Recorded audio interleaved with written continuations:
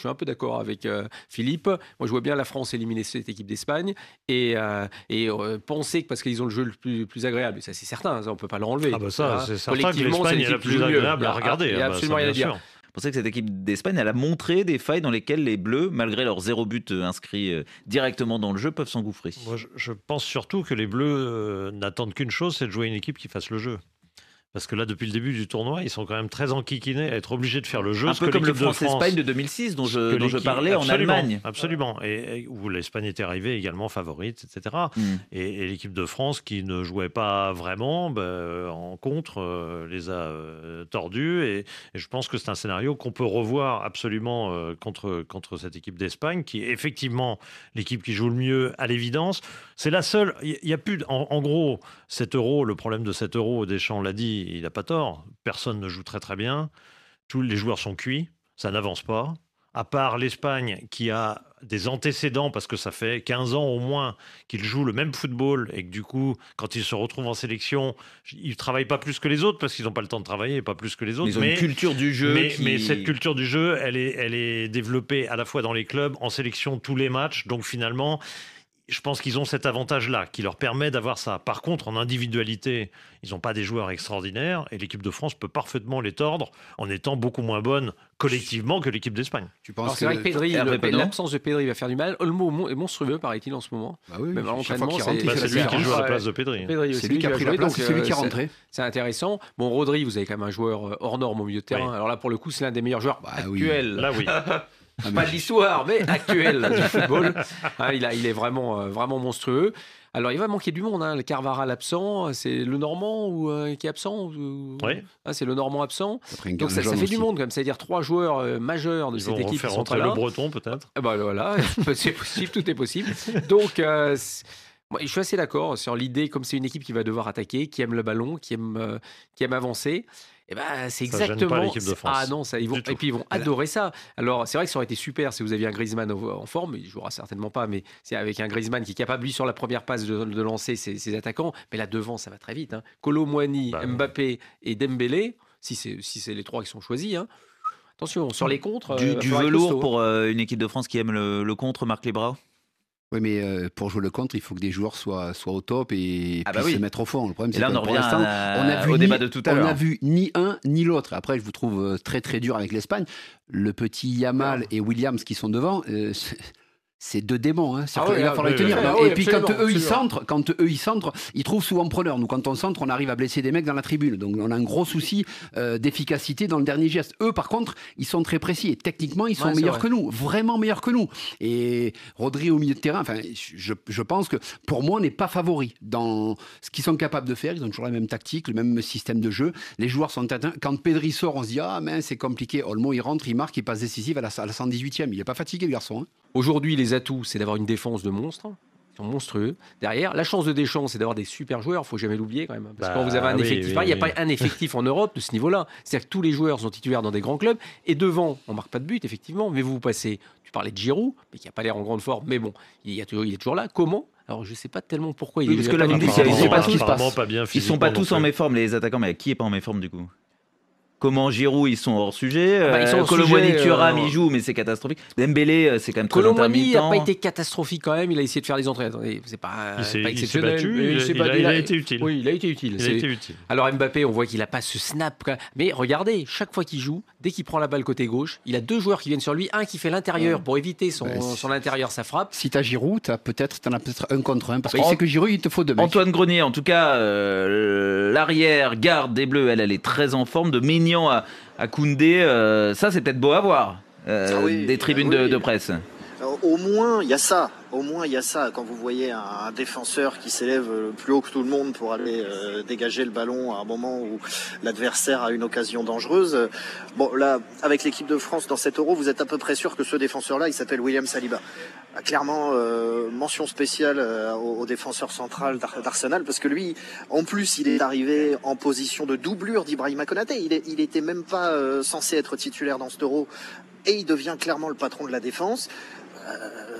voilà, vous voyez ses matchs physiquement, tactiquement, il, a pris le dessus sur euh, Lukaku, sur euh, Cristiano Ronaldo, il a mis Lewandowski dans, dans, dans, sa poche. Bref, et, pourtant, il, parlait, il partait de loin, hein, parce que vous vous rappelez de, comment Didier Deschamps euh, parlait de, de, Saliba il y a encore quelques mois. Il n'avait pas convaincu hein, euh, pendant, pendant quelques temps. Ouais, exactement, exactement. Et c'est pas, c'était pas il y a si longtemps. C'était en, en, novembre. Euh, on, sentait que Deschamps avait son idée. Il voulait ou pas Mécano Konaté, et du coup, il prenait Saliba presque un petit peu de, de haut en disant qu'il le voyait faire des choses qui lui plaisent, d'autres qui lui plaisaient un peu moins. C'est pas si fréquent quand vous savez que, que Deschamps, il, il est plutôt très fort pour défendre de ses joueurs comme Colomboigny et Thuram dont on vient de parler.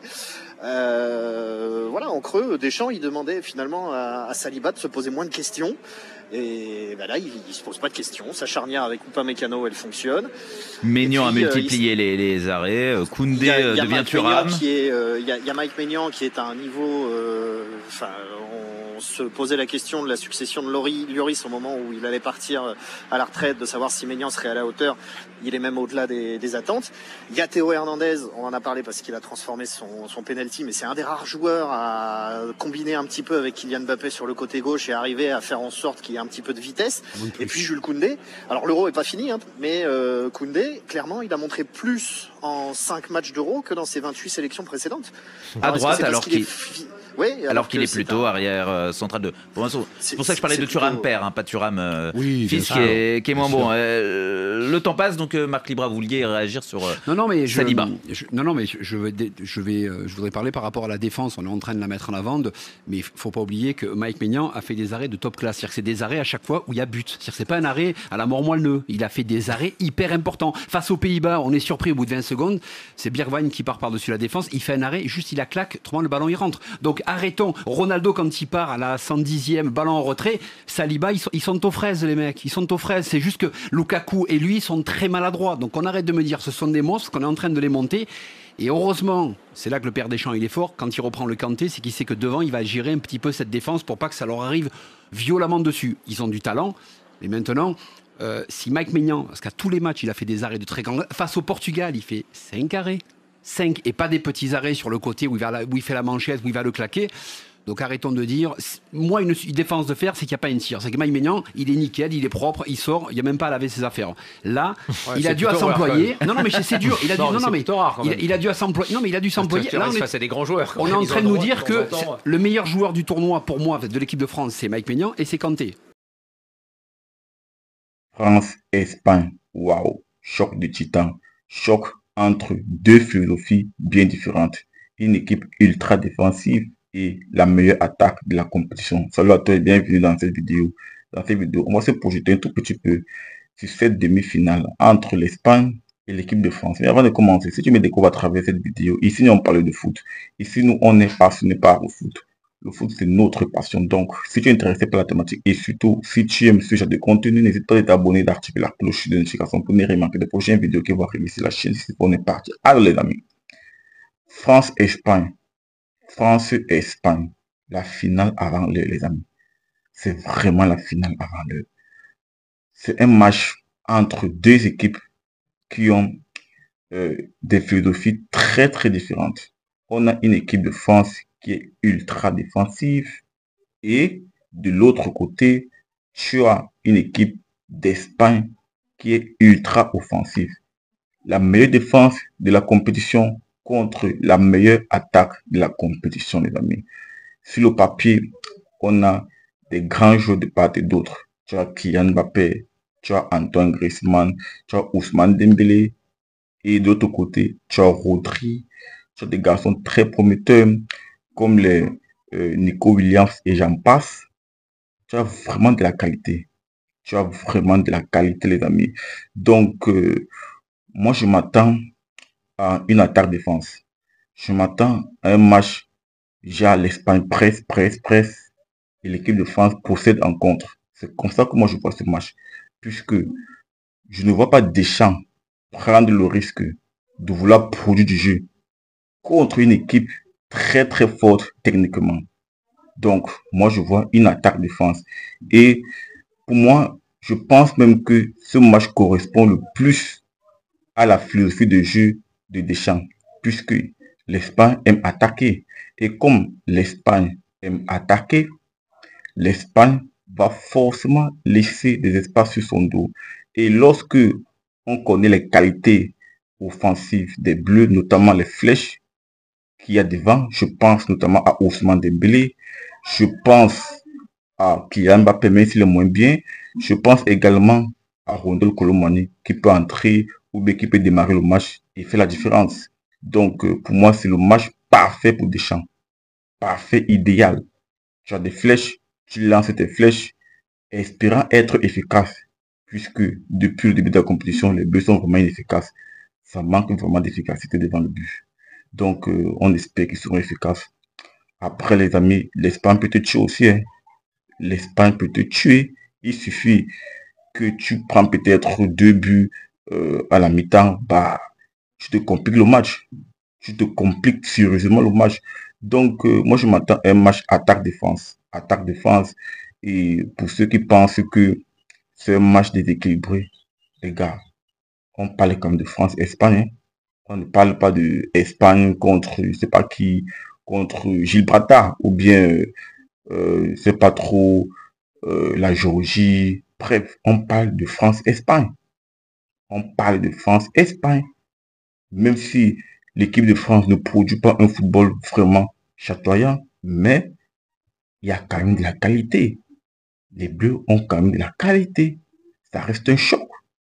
Ça reste un match de gala. Et Deschamps adore ce genre de match. Un match où tu seras dominé, mais tu vas exploiter le peu d'occasions que tu auras, notamment en contre. Notamment en contre. Imagine peut-être si tu as un grand client Mbappé, il va se régaler.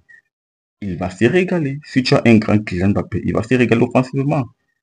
Si tu as un grand Ousmane Dembélé, il va se régaler. Donc, euh, les amis, moi, je pense que ce match, c'est vraiment le genre de match que Deschamps aime. Deschamps n'aime pas les équipes qui sont là pour, qui ferment le jeu. Parce que les Bleus n'aiment pas produire le jeu. Les Bleus sous l'air Deschamps, ça ne fait pas produire du jeu. Donc, lorsque une équipe ferme le jeu, les bleus seront obligés de produire du jeu. Et comme les bleus ne savent pas produire du jeu, généralement, ils se cassent les dents face à un bloc bas. Et comme l'Espagne va venir produire du jeu, ils vont jouer en bloc haut. Et comme ils vont jouer en bloc haut, il y aura forcément des espaces derrière. Et qui dit espace, dit Ousmane Dembélé. Qui dit espace, dit Kylian Mbappé. Qui dit espace, dit Bakula il y a vraiment des âmes, les amis. Après, partage-moi ton ressenti en commentaire sur la thématique et si ce n'est pas encore fait, n'hésite pas à t'abonner, d'activer la cloche de notification pour ne rien manquer les prochaines vidéos qui vont arriver sur la chaîne. On se dit à très bientôt pour notre vidéo, les amis. Ciao, ciao.